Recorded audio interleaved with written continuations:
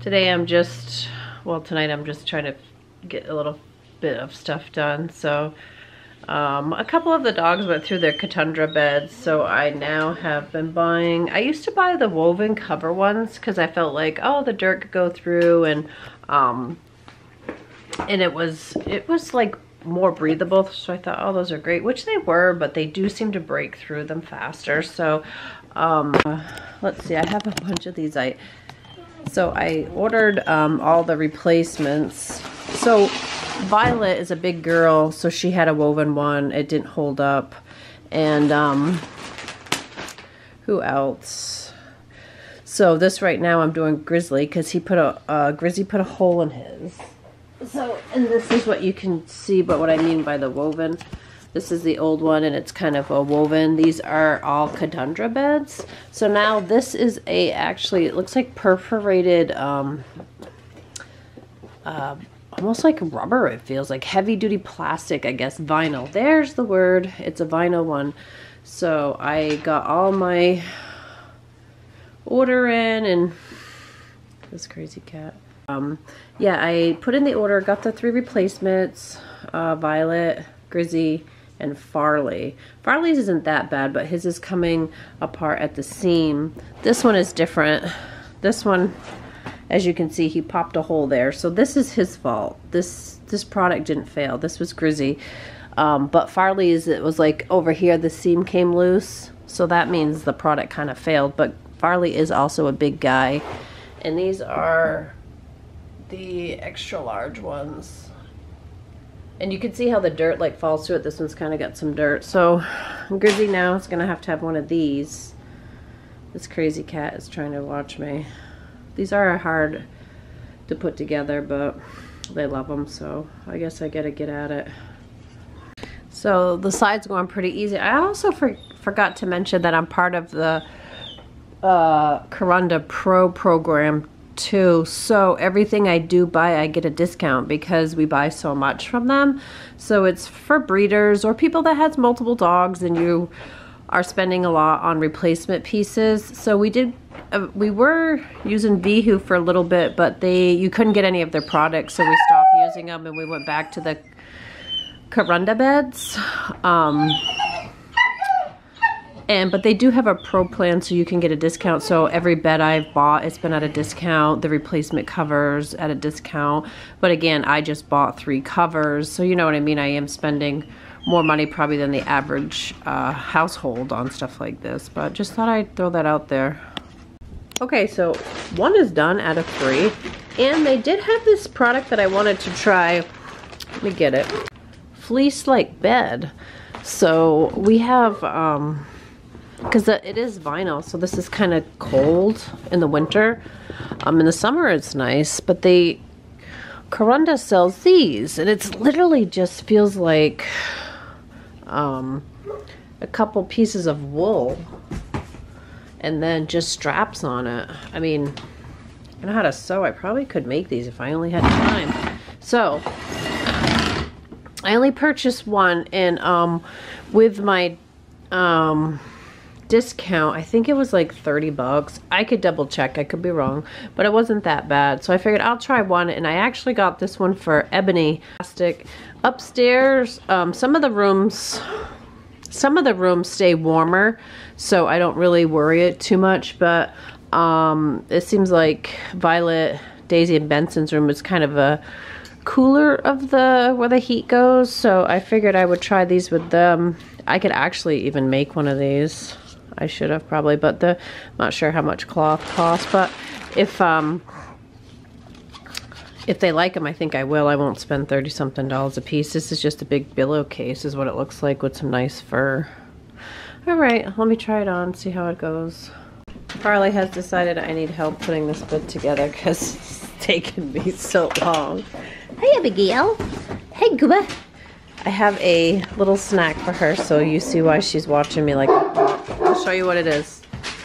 It's got it's a peanut butter inside with a, like a sub roll. This is her favorite treat. So she's getting ready to go up for the night. So this is like a little treat. They all get them. Isn't she funny? Come on, Far. Farley's busy checking out what's going on. That was it. That wasn't his bed. So Probably smells. I know you want your biscuit. Come on, Far. My big helper's right here. Rhea playing with the cat, Salem. She tends to drag the poor guy around. We try to save him most of the time. How's Salem? He does like to play with her, though. She wiggles her little tail like a brat. She's holding real still so the kitty gets close to her.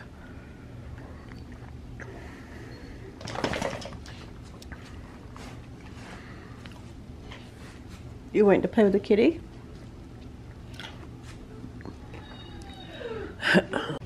so what I'm doing today is I'm actually making, I found this like recipe for this treat online and I said, oh, I'll try it, you know, how bad can it be?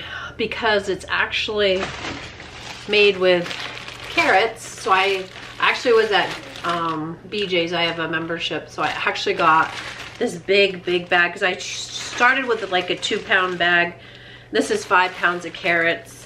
Um, I started with a small one and tried it and to see if they would like it and they actually loved it. So it's literally just two ingredients, carrots and chicken broth.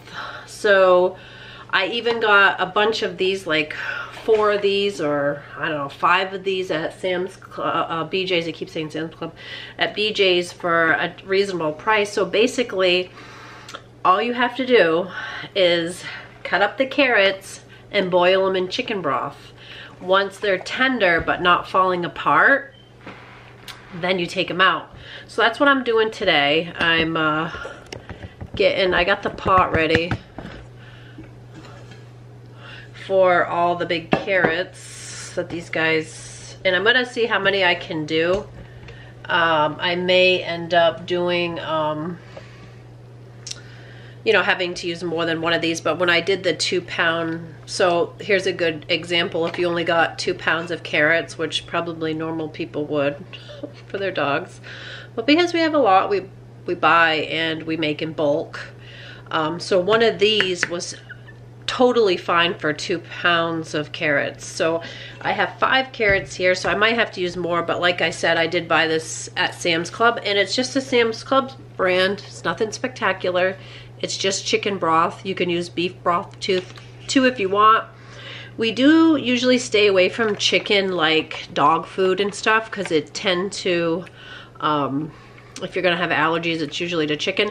But this didn't bother them at all. It's basically just a, it's giving the carrots a little bit of flavor and they they really did love them too. So I'm gonna make some of those. So I'm basically just snipping them off the tops. And nothing goes to waste here because I'll feed the tops that I'm not feeding the dogs. I'll feed these just to my chickens. I'll like them so I actually cut them. I should get a plate so I don't bar up this ugly counter of mine. This is the worst room, the kitchen I hate. Um, so these are pretty long carrots. So this one I'm probably gonna cut up to threes. Oops, those are hard. So the snack size is like this big. Pretty good size, it's about three inches. So I'm just gonna get them, and I'm not peeling them or anything because these are these are been washed. Um, so they'll be good to go and um, a little bit of peel is not going to hurt our dogs. And I didn't peel them before because that would be more work for me. And I hate peeling stuff. I don't even peel potatoes until after they're cooked. So, yeah. I'm one of those. And I mean, if I feel like, you know, rinsing them isn't enough, like this is kind of a smaller one, so I just cut that up to two. So, so I'm gonna put in as many carrots as I want first and then I'm gonna uh, cook them or put the stuff over the top. Are you waiting for your treats to come out, Fiona? So Fiona was on baby duty last week. Uh, she had to watch one of her grandkids. Huh, Fiona? She said I'm busy. Uh, yeah, so one of our, we have two grandbabies that were due in December and the first one was born. Um, everything's great with the baby and the baby's healthy and we're pretty happy. Um, another little granddaughter. So now we have, I have four. And we do have another baby due this month. So we'll see what that little baby's going to be. But, um, so we had one, our other granddaughter here while her mom and dad were busy, you know, having her sister come into the world. So, um, Fiona does great with them. All the all the gang love to see the kids come over. They're all really good with them. And most of them, like Fiona, is over 10 and she's never been around little kids, um, just our own kids. But like, it just shows what a great breed the Danes are. They actually do wonderful. They live. And the dog, eh, all the kids really like Fiona. Fiona's foot looks swollen today. Um, yeah, she has good days and bad days, like I guess the rest of us. But she's pretty fabulous. Oh, pretty girl. You waiting for your treats to get done? All right. Sevia finally decided to take a nap. Yep. This lighting is horrible at night, so I hate doing videos at night, but this is when I'm available, so um, yeah. So last week we didn't have a video because we were busy with our family. Um, we welcomed another baby into the, our family and um, we're grandparents so we help out with the other the other babies while their parents are busy with the new baby so um, we were busy last week with her and it was great to spend time one-on-one -on -one. um, we love having our little grandchildren over um, and um, a little update on Duder he actually did find his forever home um, he became available He's a beautiful tan piebald. Um, and he's about 10 months old and his family needed to rehome him for unforeseen circumstances. So, you know, we have such a great, um, we have a great extended family and somebody actually um, has taken him in and he's actually with one of our other, some of our other Danes. So um, it's a good, um, I hope, you know, it's sometimes things happen and, you know, you just try to move forward. That's why we always say, like, if you need help, um, we do whatever we can. We try to do our best to help rehome. Um, right now with um, being pretty full and we have pregnant, um, we have one pregnant, we wouldn't um, take anybody back into our home just because of viruses and stuff like that. But we always real assist if we can. We have taken them back into our homes when we needed to um, and when we had the availability like with our own life. Um, so we do whatever we can, but um, so he does. He has found a new home, so I'm so um, we're still waiting on Cheska to find out the results of her breeding. But if most of you know, Daisy is pregnant. I actually looked at her puppies. Uh, uh, was it yesterday or today? I don't, I don't know.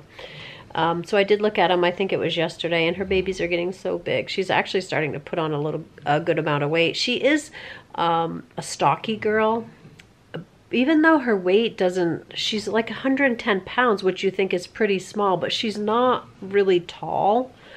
Um, so usually if they're very tall, like Ellie, she's very tall. She weighs a good amount because she's lean. She looks lean. Um, Daisy's a little bit shorter, so she looks thicker. And Benson, that's her sister, her biological sister, um, she's a little bit thinner than her. She's like a 100 pounds. But again, both of those girls are a little bit shorter. So then like most of our Danes are taller than that.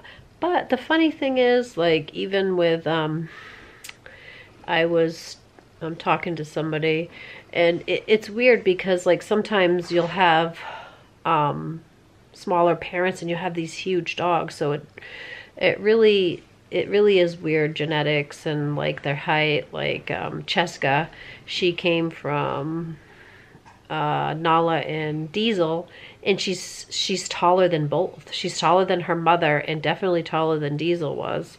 So it's the weirdest thing. And then you have um, Duder. He comes from uh, Grizzly, and his mom is Cheska, and he's a big guy. So it's like, and Cheska is definitely taller than Grizzly. Grizzly is very muscular. Cheska is very lean. Um, she looks great proportioned like Ellie. She's another taller one. Um, but it is just weird. Like you could have um, small parents and massive uh, or you could have big ones and they don't they they're more petite so it's like sometimes people will have expectations oh this this dane isn't big enough or this dane's too big you you know it's there's really no predicting. They could take after the mom or the dad but genetics are fascinating. I think they are.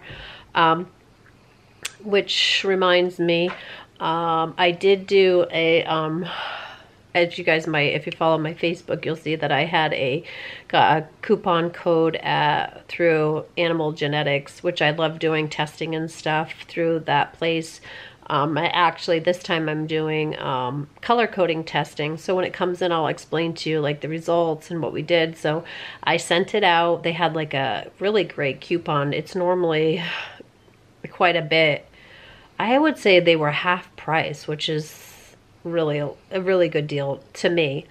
So um, what they do is they send you, um, well, you do the information online, so you print it out like your paper saying you paid and what it is you're looking for. You put in the information of your dog, which ours is Daisy, and um, I put in like her AKC number and stuff like that. So it's on file. All my stuff's on file there too. And then what they send back is they'll send you a swab kit, and what it is basically you just go in their cheeks and rub each side of their cheeks and then you put it back in the bag kind of put a little tape on it to seal it and send it off um, I've done numerous um, testing for this particular thing through color panels through them so I'm really kind of excited to see what she carries um, do you have to do that? No, I just kind of like to do it. I like to see, I can, I went back into their family trees and saw what they could possibly carry. And by looking at the family tree, you'll get, she'll get some from each one, but there'll be different ones. Like mom could carry blue and Harlequin and maybe she just carries Harlequin, you know what I mean? So it doesn't necessarily mean if the the, they carry everything that the parents do. They only get specific things that they kick off from parents. Um, so they'll get some of it, but not all of it. So I'm kind of curious to see what she has. Um, I'm really excited to see this litter um, for Daisy and Grizzy. I'm I'm so excited if we have any kind of chocolate variations and spots. A lot of people like spots. I myself um, love spotted things too. Um, so we'll see. Um, but I did tell you I was looking at her. Her babies look so big and they kind of look like they're kind of squished in there now and you can actually see little spines and see them moving around. I can even with my ultrasound cue in and see heartbeats and so again, I didn't go to school for ultrasound or anything like that, but I have had my own machine and been I feel like if you want to learn something, if you dabble enough into it or you know, figure it out, you can figure out anything. So I figured out how to use it, how to pick up this or that or like sometimes people will mistake like their colon for puppies and I can identify the difference between no that's that's her colon or no that's her kidney or there's her um, bladder. So these are all like things that I'm picking up. I really enjoy it too. I think it's pretty awesome to see in a lot of years I had paid the vets to um, do these tests for me and they're really expensive so I feel like I've already um, gotten my money back for my ultrasound machine. I think that was my best investment I've ever had. Um, progesterone machine, let's talk about that. Um, so as you guys all know, I followed Daisy's heat from day one. So I so what I wanted to do is I wanted to put her out with Grizzly every day so they get like a courtship. So once I realized she was coming into heat, they went out every day together every day. They played, they frolicked, they became good buddies. I mean, he already goes out with her anyway, but I made sure it was just those two. and um, you know, they frolicked around, they played um, I started progesterone testing, and when I did, the machine said I was already too late to breed her. And I'm thinking, you got to be kidding because they've been going out every single day together. That's the one thing I have done. I didn't track her progesterone maybe in the beginning as close as I did because I tracked it. It was really low, so I waited like three days and then it said that she ovulated and she's done. And I'm like, oh my God, how could I have missed it? Grizzly's been out with her every day and he's a proven stud. so I was like, oh, I don't know if I should just not put them together anymore. And it was actually my husband that I talked to and my daughter saying like, why don't you just let Grizzly do it? Um, he knows the instincts. He's a proven stud. Just let him be. So I did. I just kept putting him out. Um, and then the next day I checked her progesterone again and the numbers had come down a little bit. So I'm like, this is really weird. And um, there is a calibration chip in my machine. I put it in and calibrated just to be sure. and the numbers were still high saying basically if I want to breed her, I would have to do the, um, like the medical implant. Um, I was like, I'm not doing that, you know, and why wouldn't he show any interest in her if she had ovulated? So I put him back out and wouldn't you know it, one day I'm just having a conversation and I hear uh, a sound. I go out there and they're tied. I'm like, okay, so great. Am I just going to have a singleton? So these are all things I've been thinking about in the back and haven't really said anything because if you breed too late or too early, that's how you get singletons or small litters. And I don't I don't want a small litter because it's I've had no luck with singletons. I've never had one that survived. Um, and it's easier for mom, for milk, mastitis, uh, you name it, there's more pros and cons. There's more cons to having a singleton than pros. So I was like, great, they bred. What is she maybe just going to get pregnant with a singleton?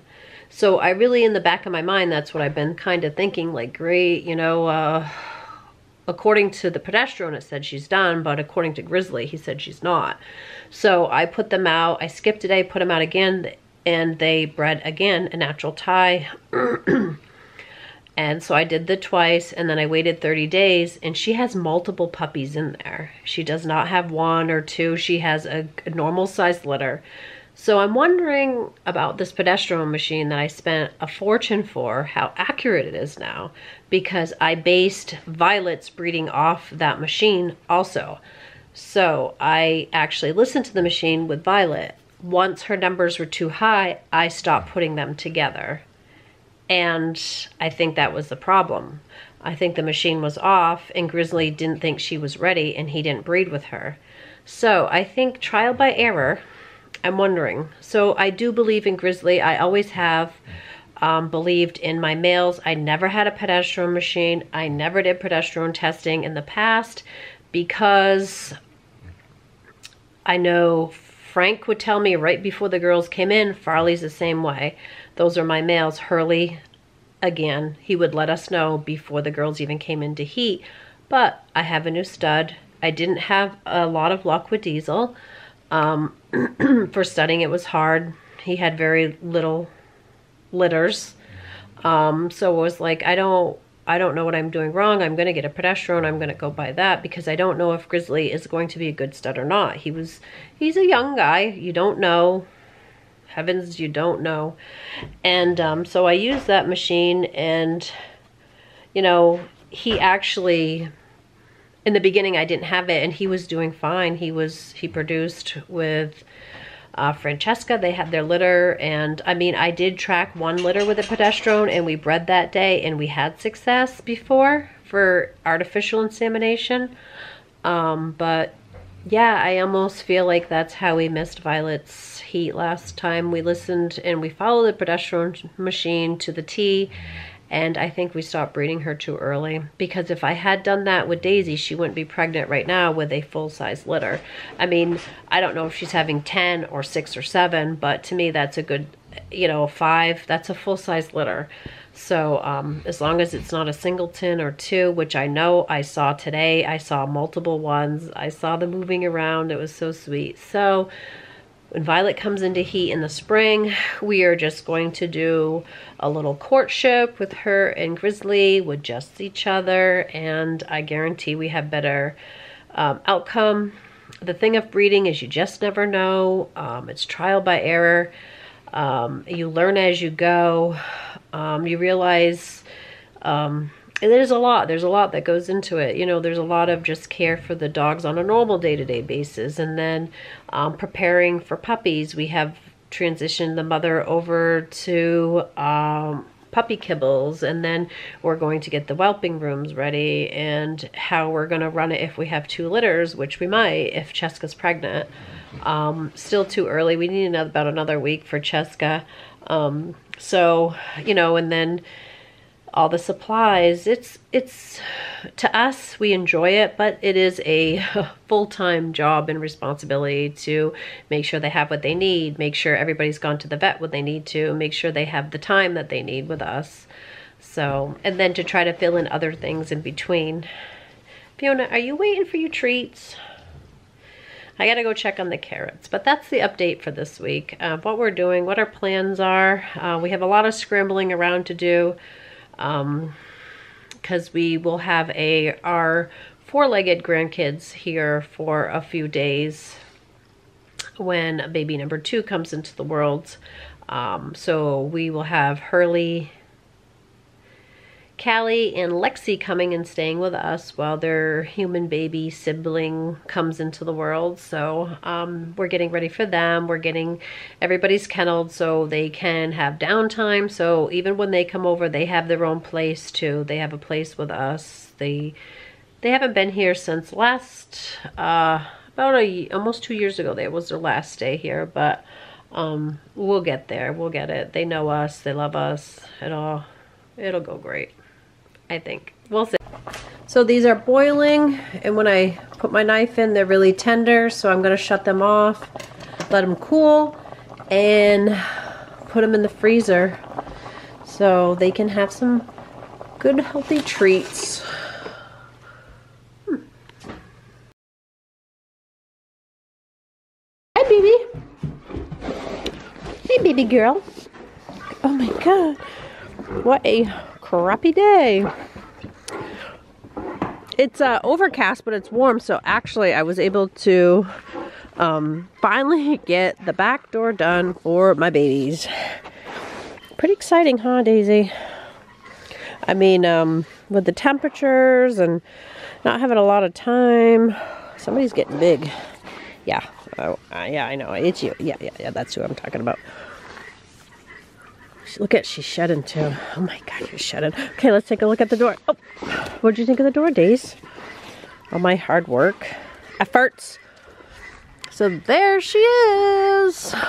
I'm so proud. So much work.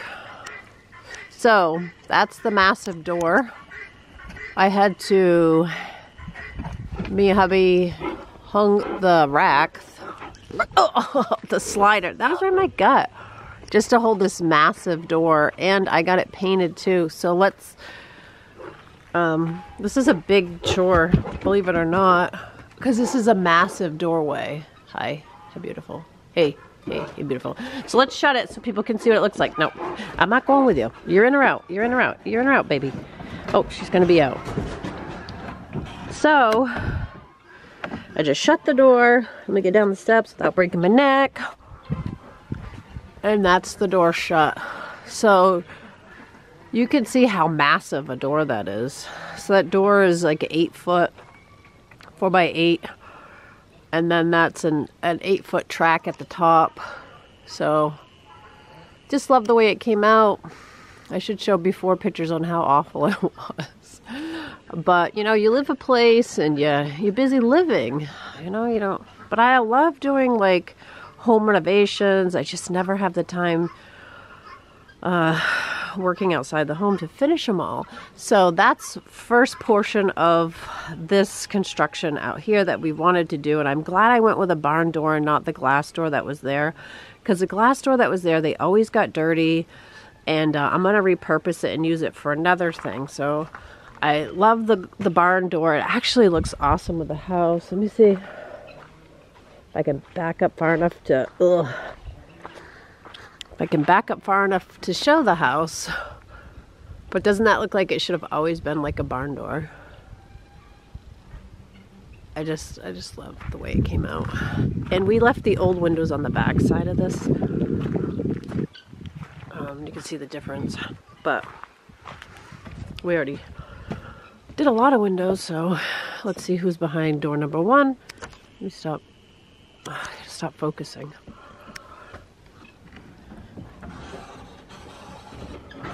Well, hi. And it has the little gliders. So it has stoppers up there to know when to stop. So this is like the sides with it open. And I did get a chance to paint everything. I'm going to put different like boards right here just to finish this out. But this all got done. And the lighting in here is not good. But it is, it is uh, all painted red. Hmm. I love the way it came out. I'm really proud of myself. So then that's that's it, guys. We did it, Daisy. Daisy, get up there and get a picture. You could get your picture taken by the barn door. Go on, go ahead. You're usually good. You're, you're usually awesome at taking pictures. Oh, you just, she's such a love. Imagine her puppies. She said, my puppies will be here in about four weeks. It's going to be hard not to keep any. Come on. Come up here, Days. Daisy May. May is her middle name. Okay, let's show people like you really know manners. Stay there. Stay there. Think she's to stay for her pictures? Oh, she is. Surprising. I just want to mention too that we actually hit 1,000 subscribers on our YouTube channel and how happy that has made us. It's been a long journey, but we made it there. Thank you. Help our channel grow by subscribing if you already aren't subscribed, please.